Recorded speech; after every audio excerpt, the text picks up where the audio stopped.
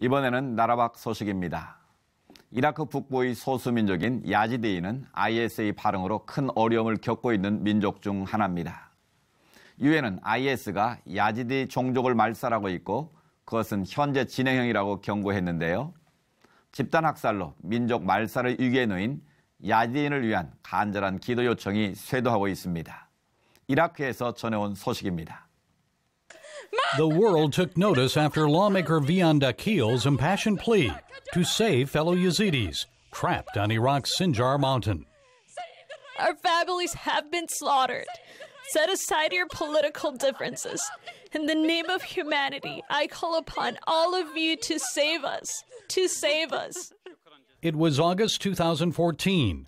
Islamic State fighters overran Yazidi villages around Sinjar and Zumar near the Mosul Dam.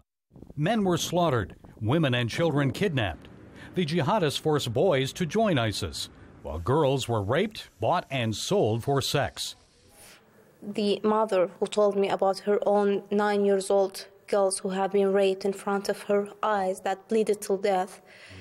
We, we are hearing a terrible stories every day.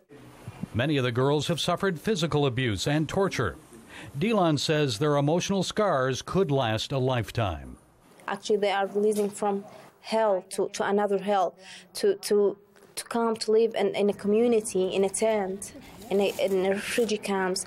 And, and most of their family members have been either kid, kidnapped or killed in front of their eyes. She says the Yazidi girls and their families need therapy. She wants American psychologists specializing in trauma to teach Iraqis how to help them. Dilan says she too may need counseling.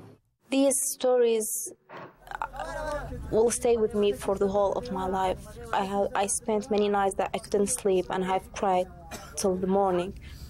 To be honest, I'm traumatized as well. You think that's a good idea for us to pray for Of these course, girls or what? Of course, it would be great. They are emotionally effective. Anything would help them. Of course, praying it will be a great thing to do. Voices for a voiceless people.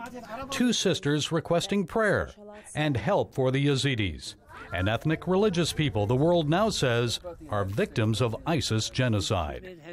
Gary Lane, CBN News, Erbil, Iraq.